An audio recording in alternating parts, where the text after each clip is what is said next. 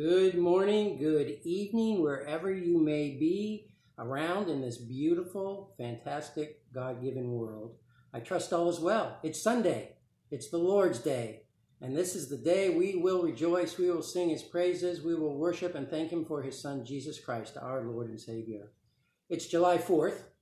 It's our country's Independence Day, so as you can see, I'm at home and I'll be celebrating with my family our 4th of July, which usually entails anything from hamburgers, hot dogs, steaks, something grilled, and of course, fireworks. Um, your day, I pray, will be full of spiritual fireworks, and that God will just continue to enlighten you and grow you in His grace and His mercy.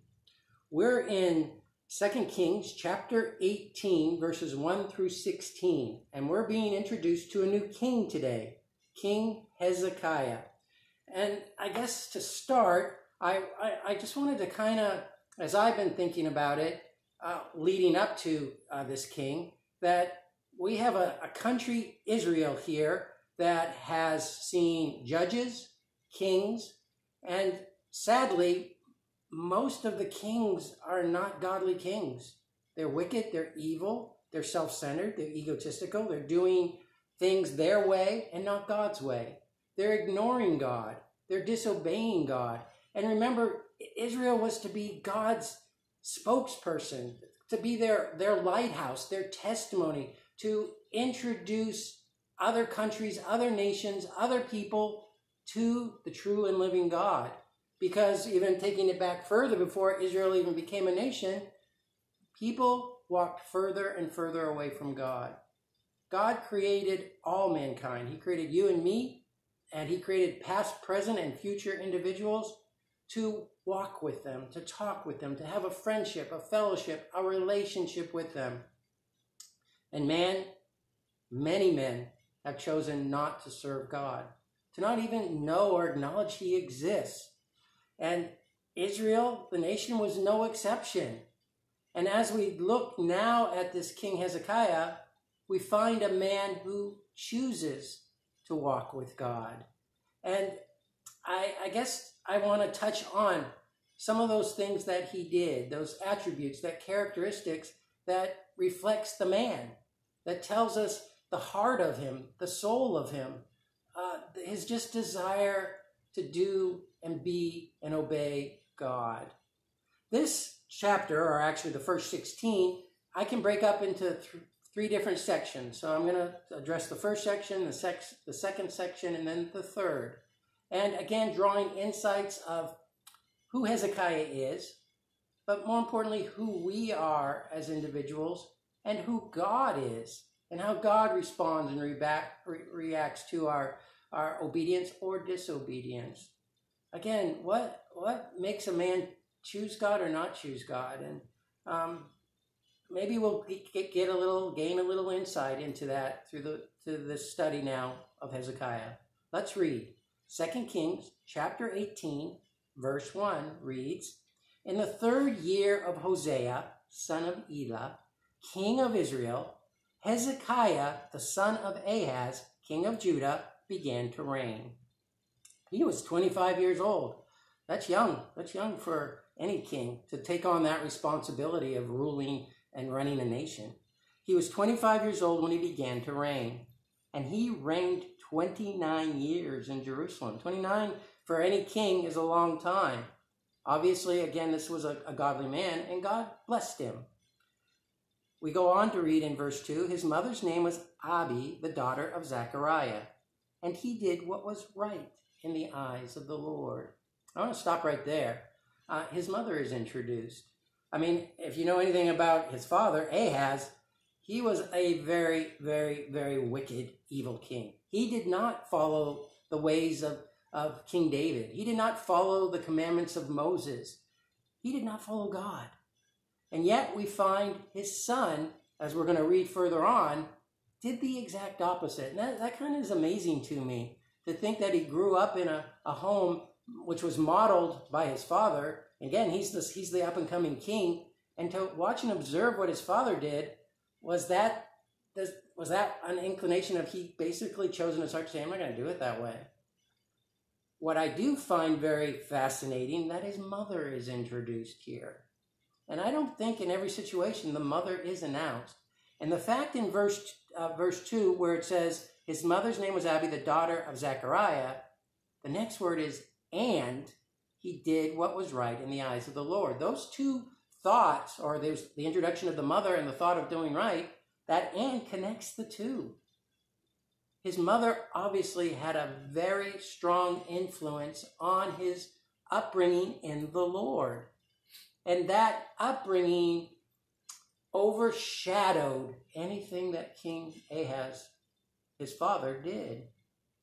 He did right in the eyes of the Lord. Remember in Judges where it says, everyone did right in their own eyes? And we all do that. We all justify our actions or we have our own sense or foundation or what we think is right versus wrong. And you put 10 different people in a room and all of them will come up with 10 different scenarios of what is right and wrong. Well, the bottom line is there is only one right. It's the Lord's. He, the creator of, of all mankind, the creator of all the universes, the creator of everything, has a right way of doing it, and there is no other. And this man, Hezekiah, chose to do it the Lord's way and not his own way or not Ahaz's way or not any other individual's way. And that's something you and I, any individual, needs to contemplate, think on. And we find God's right way in His Word, the Bible. We find God's right way by acknowledging He exists and that uh, showing a desire and a willingness to do it his way, finding it in the Bible, finding it through the Holy Spirit, finding it through godly wisdom and testimony of other individuals, as in this case, his mother. He did right, according to all that David, his father, had done. David modeled godly, uh, well, got, got the heart of David modeled godly living. He removed the high places and broke the pillars and cut down the Asherah. And he broke in pieces the bronze serpent that Moses had made. For until those days, the people of Israel had made offerings to it. It was called Nehushtan, which translation means piece of brass. So we see not only doing right, choosing to do right, we see we see action as well. And he knew that these false idols, these altars, these false altars, these false statues, this false belief system was wrong. And he took action. He cut down those pillars, those, those, those, those statues that, that Israel had been worshiping through other Israelite kings. He saw the, the wrongness in it. And he he did something about it. That takes bravery. That takes courage. I mean, uh, the politicians of our day, uh, they are easily swayed. But this man was not. He did right before the Lord. He knew that worshiping false idols was wrong. It was in Moses' commandments. You're familiar with the Ten Commandments. Do not worship false gods. He took it to heart, he took it to action. Interesting, too, uh, it speaks of that bronze servant. Remember when Moses was walking through, uh, the, the, the, whole Israelite nation was walking through the wilderness and they were mumbling and complaining, and he crafted this, this bronze uh, serpent and held it up and said, Whoever looks on it shall be healed. This is like hundreds, I don't say 800 years later. They took that statue and made it into an idol and were worshiping it. We've got to be careful. We've got to stay focused on God and discern what is right and wrong and not take things or images of any kind and worship them. We worship a God who lives and is alive and well in our hearts and our souls. He broke it into pieces. Enough, he said. Done. This is the exact opposite of what all the other kings, with I believe the exception of Asa, Asa, did. So many other kings had come before him after David. And he is only, I believe, the second king to do what is right in the eyes of the Lord. He trusted in the Lord. So first we see he did right in the Lord, but also now we see he trusted in the Lord. And I, I want to just talk a little bit about that as well. You know, there's something to define the word trust, and I put four, to, four words together to, to define trust. First of all, in order to put your uh, your reliability or dependence in another individual, in this case, the true and living God, there needs to be a consistency on that person, or in this case, God. And God has been consistent throughout time, from the beginning of time. He has proven himself. He has not wavered off. If he says he's going to do something, he does something. He has fulfilled promises, lived by them, followed through with them, regardless of what man has done. If you look in the Word of God, if you see it in your own lives, you will recognize and realize the consistency of God. He, he's, you know what he's going to do. Another one, another word for trust, in addition to consistency, I wrote down compassion. Now, an individual who shows compassion towards you, helps you, cares for you, loves you, you will put your trust in them because that is a genuine, sincere emotion of wanting to help you. Well, God has demonstrated that over and over and over and again. He demonstrated it first and first foremost and second to none by sending his son to die on the cross when we were unlovable, when we were not even walking or acknowledging his existence. He still cares and loves us. He has compassion for each and every one of us. Somebody who loves and cares for you, who has compassion, you're going to put your trust in. God has demonstrated that quality as well. Another one is comp- competency, the, the ability to do it. And if He's God, He can do anything. He is omnipotent, He is all powerful. And He has consistently, compassionately shown that. And fourth, to, to understand this concept of trust is communication. God is continuously communicating His love, His caring, His desire to have a relationship with us. You, you know the individual. You have or want a relationship with them. They're proving their trust over and over again. Obviously, Hezekiah, it says he trusts him. He has and recognizes God's consistency, his compassion, his, uh, his uh, competency, and obviously, he has some type of a relationship with him. He's established it. He's walking with God. He trusted in the Lord, verse 5 says, the God of Israel, so that there was none like him among all the kings of Judah after him, nor among those who were before him. Wow, this man stepped up. He willingly chose to follow, believe, trust in God, and do what was right verse 6 gives us a little bit more of, of, of his, his belief. And again, belief denotes action. It says, For he held fast to the Lord. He did not depart from following him. Held fast, like hold on tight. I'm sure, as a king, that's a tough job. And yet, this man humbled himself and made God above his, his own kingship and in doing so acknowledged that he was dependent on him. He held tight to him. He denoted action.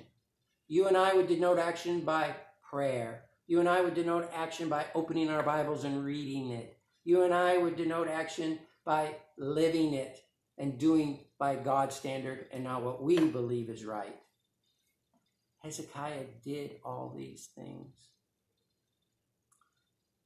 Verse 7, oh, I'm sorry, verse 6 continues, and following him, but kept the commandments that the Lord commanded Moses.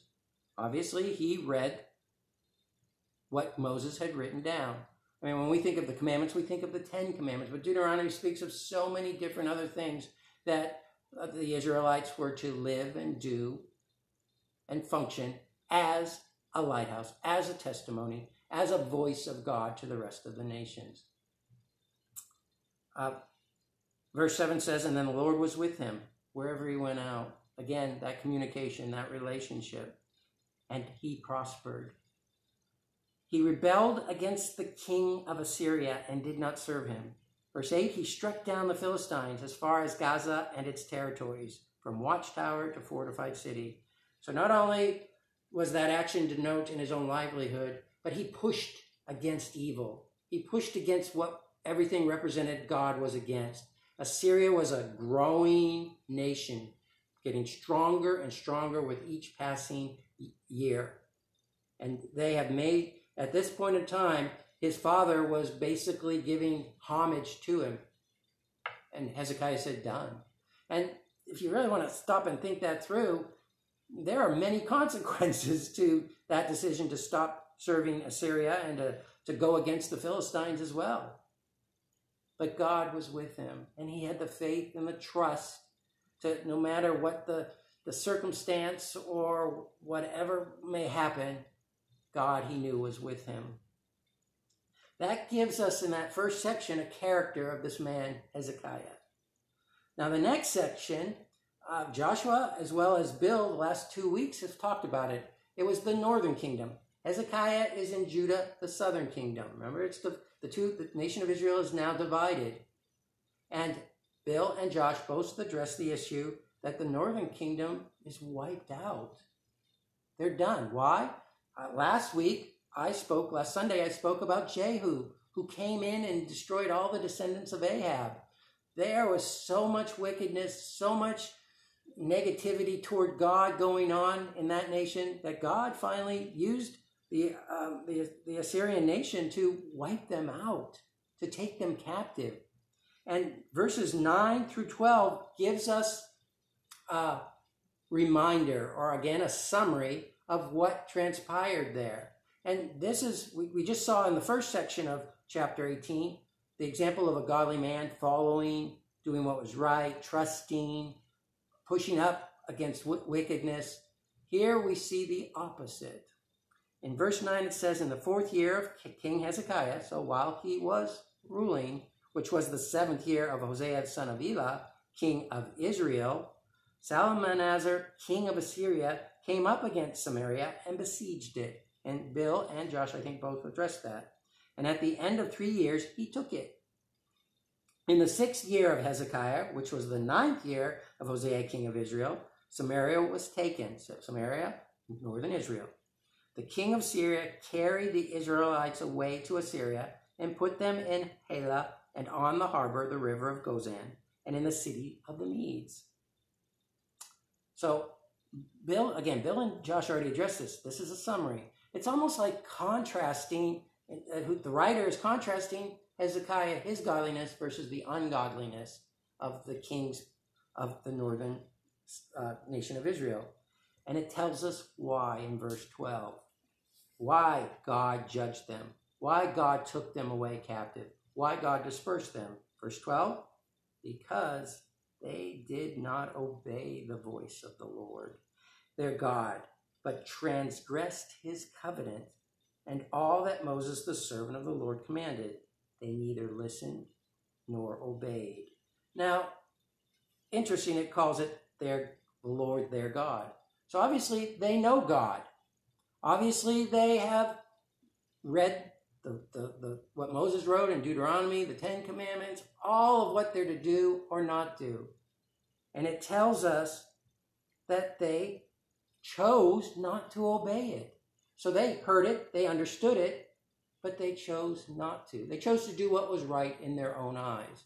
And so much, the flesh, the sin, the world can just get the best of us we in our own hearts can think we're better than God, or we are, are we are wiser than God, and we're going to act on our own selfish, egotistical, prideful nature. They did, and God, who is consistent, but God, who is also long suffering and patient, gave them more and more and enough time. He gave them more than enough warnings through the prophets, etc. But again, just like last Sunday when I said, he used Jehu to say with Ahab, Ahab, done. He said done to this nation. God is consistent. God is also compassionate. They, it says, they transgressed his covenant. So they knew the promises. They knew the contract. They agreed to follow it. And yet they didn't. They transgressed it. They broke the covenant with God. They went beyond its boundaries. They did it their way, not God's way. And then, of course, they didn't listen or obey. So, listening denotes someone speaking to you, like the prophets. They heard it, but chose not to. We see two contrasts here godly Hezekiah and the, the ungodly nation of Israel. Now, the next section, we find something interesting about Hezekiah. Verse 13, it says, In the 14th year of King Hezekiah, Sennacherib, king of Assyria, that was the son of the previous king that took out uh, um, northern Israel, came up against all the fortified cities of Judah, that's Hezekiah's area, and took them. So Hezekiah pushed on that nation. The nation's pushing back, and that when we try to do right, mm, evil pushes back. Um, he, they, he came after he came after Hezekiah Sennacherib with a vengeance. He took over, started one city, town after another, the fortified cities. Obviously, he's a very powerful king. He took them. Verse 14 says, And Hezekiah, king of Judah, sent to the king of Assyria at Lachish, saying, I have done wrong, withdrawn from me. And this shows us something else about Hezekiah. But it also shows us something about ourselves. We are not perfect individuals. Here was a godly man doing right, but so many times, and you and I, if we look in our past, can see situations where we doubt God. We're wondering, is God judging us? In this particular case, I mean, he knew what his father did, as he said, now God is going to judge us for what my father. There's so much I'm sure he can play in his mind, and mm, it's happening.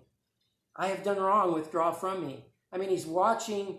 Mm, sometimes so, so much fear can get into us as well, and we don't think straight as he's watching uh, fortified town, city after other in Judah being taken by this Assyrian king. Whatever you impose on me, I will bear. And the king of Assyria required of Hezekiah, king of Judah, 300 talents of silver and 30 talents of gold. And Hezekiah gave him all the silver that was found in the house of the Lord and in the treasuries of the king's house. Hezekiah is having a doubtful, fearful moment. At that time, Hezekiah stripped the gold from the doors of the temple of the Lord and from the doorpost of the Heze- uh, doorpost that Hezekiah, king of Judah, had overlaid and given to the king of Assyria. I'm going to stop right there, and Mark will pick up the rest of this story. The story goes, I think, another full chapter of what's going on. But the three sections I want you to see is a godly, a godly man, an ungodly nation, and a godly man that's not perfect. Mark will tell you, and we'll see the God's hand upon this imperfect man. And when God again is a compassionate and shows much grace and mercy, but stop and take a moment yourself to think where do I line up in all of this? Now, I can speak for myself and tell you I am not a perfect man. And that's why I chose to acknowledge a real and living God who has consistently shown himself throughout my walk with him, his love and his mercy and his grace. Have I messed up? Absolutely. And you know what? God keeps picking me up consistently. I like to think even in my weakness, even in my sinful nature, even in my justifying sometimes in my own mind, that in the in the deep root of who I am, God is there. And I try not to beat myself up so much. And God, who I cry out to continuously, talk to, pray, reassures me of his compassion and his love he acknowledges that I am not perfect. I am a process of continuously growing in that grace and mercy. I like to think I learn from my mistakes. I acknowledge my mistakes. That's what King David did. Hezekiah is following in the footsteps of King David. His heart was right but there are again so many different obstacles in this world that cause us to hesitate, falter. but God loves me. God died on the cross for me. God knows I'm not perfect. God knows the mistakes I'm going to make. And He continually comes alongside me and walks with me. I trust God. I try very hard to do what is right in His sight. At times I do hold on tight and I do not depart from Him in my time of woes. And this I do know that my, my God, my, my Jesus, saved me from my sins, and that someday I will be a perfect human being in heaven with Him forever and ever. Never lose hope of a consistent, compassionate, all powerful God. Stay in His Word, read it, do not depart from it. Pray, talk to Him continuously. Surround yourself with other people who love Him as well. And just have that strong, solid ground to walk in as you walk with God. Yep, you will make mistakes. Hezekiah, a godly man, did. But again, I'm, I'm saving the rest of the story for Mark. God, God will rescue him. God will rescue any that cry out and call to him. Do that if you haven't. Do that if you don't know him. Just, uh, it, it starts with a simple acknowledgement, a recognition of how much he does truly love us. And as a believer, yep, you're not going to suddenly become perfect. Continually purpose in your heart to walk with him. Spend time with a loving, real, personal God and watch him work in your life. Be encouraged. God bless each and every one of you this day. Precious Lord, I lift up our listening audience all around the world. Lord, please continually remind them of your love, that compassion, of your consistency, of your of your power, of the abilities that you have. We choose to believe in that type of a God who is de- and you've demonstrated it again and again and again and again. We serve you, Lord. We worship you. And as always, we thank you for your Son, Jesus Christ. It's in his name, Lord, we cry out. To God be the glory. Amen. Marks tomorrow. God bless. Take care.